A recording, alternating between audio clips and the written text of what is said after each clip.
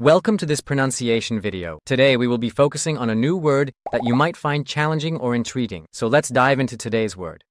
Dzhilli, which means gilly in Russian. Let's say it all together. Dzhilli.